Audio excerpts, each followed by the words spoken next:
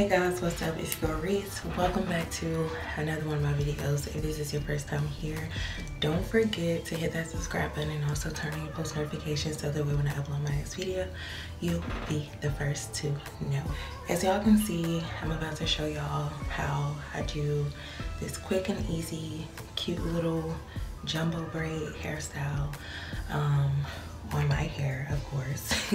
As y'all can see the struggle is real because I do have 4C hair so it like shrinks up a lot. Like I get a lot of shrinkage so um, the struggle is real when it comes down to putting my hair in a ponytail. It's not easy but let me tell y'all what you're gonna need. Number one a brush you're gonna need a toothbrush or like something to lay your edges with. You're also gonna need something to tie down your edges with. You're gonna need some scrunchie, some edge control of course. I'm using the 24 hour edge tamer edge control. I got this from the beauty supply store for $7.99 and it is very much worth it I'll say. It's a lot better than those cheaper edge control products. And of course, you're gonna need some braiding hair. I'll say this is about one pack of braiding hair, and this is Kanekalon braiding hair. Um, I've used this hair before, that's why it's like crinkly and whatnot. And the ends are already uneven, so you know, I won't have that straight across even look. That's just not cute. If you are just now taking your hair fresh out the pack. Basically just kind of like stretch it or whatever, you know, to get that look. The reason why my hair is like this, number one, because it's a little dry. I did damp it with a little bit of water so I can achieve the ponytail a little easier. But I wore a ponytail like this the other day and I just ain't doing nothing else with my hair. So I just been walking around, girl, looking like this. so, um, anywho, first things first put your hair in a ponytail.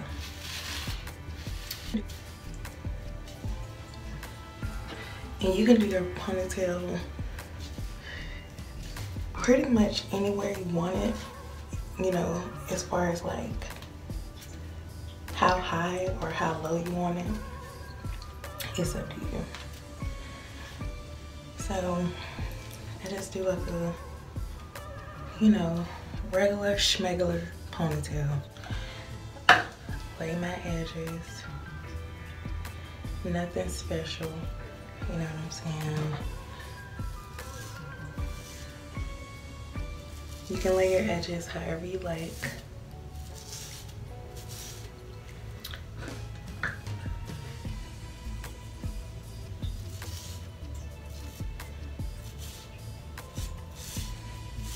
Nothing fancy. But like I said, if you got more time or if you want to you know, take more time on your edges, you can. But I'm just showing y'all like the basic. It's time for me to get a new edge control brush because this ain't laying it like it used to. Man, I, I'm sorry if I'm talking low because it's like 3 o'clock in the morning, girl. And I'm sitting up here trying to do my hair. you just want to make sure you got like a sleek ponytail. Just try to get it sleek down as much as possible. That's the goal.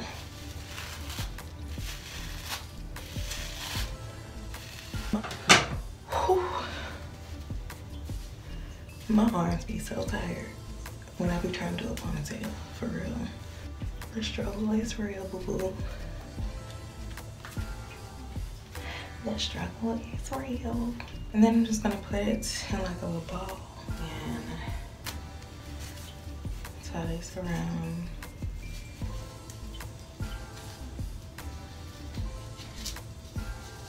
Is it on there good?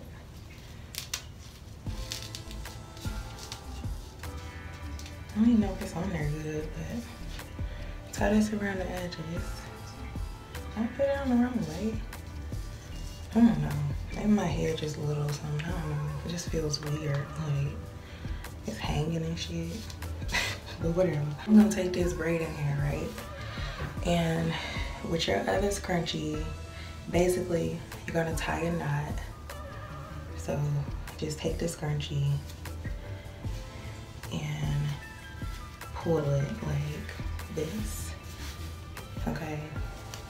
And then just make basically make a knot with the scrunchie onto there. But let me show y'all again just in case y'all didn't catch that because I know I be moving fast sometimes. So take your scrunchie and pull it. Okay? Pull it down. And then take the back side and just pull it through. And that should give you a knot. Then just take the scrunchie to a ponytail around your ponytail. If that makes sense, tie a ponytail around your ponytail, okay? On the opposite side of whichever side you want the braid to be on. So I want the braid to be on this side, so I'm gonna tie the scrunchie or the ponytail scrunchie on this side. Then I'm just gonna simply flip it over like this. All right, just strain it out a little bit. And part it into like three sections so I can get a braid going. Right? Then you're just gonna start braiding. And you don't want it to be tight if you want a loose jumbo braid. So just braid kind of loosely.